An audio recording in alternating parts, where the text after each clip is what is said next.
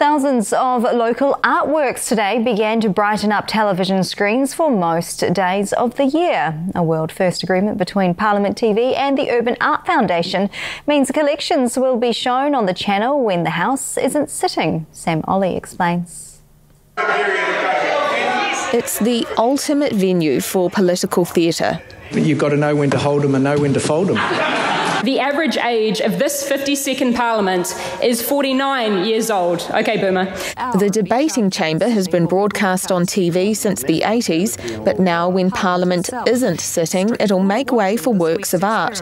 We're talking over those 275 days, six and a half thousand hours of programme time. Instead of politicians, New Zealand artworks from public galleries and museums will be on screen, including works of the late great Colin McCahon to more recent pieces from Dame Robin White and artists like Dick Frizzell. And then we have all the famous names, but more importantly, we also have the upcoming artists. One of the artist contributors, Derek Cowie, is a big fan. Where there's this boring, endless hours of Parliament scrolling the minutes of the day and what's coming to fill that space with art, whether you like it or not, is a completely different matter.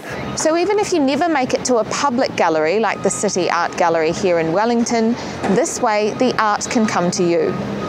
What we see on gallery walls is also only a fraction of what's held in storage, but now much more will be revealed. This TV channel takeover, Ki Te Marama, bringing the archives into the light. Sam Olley, One News.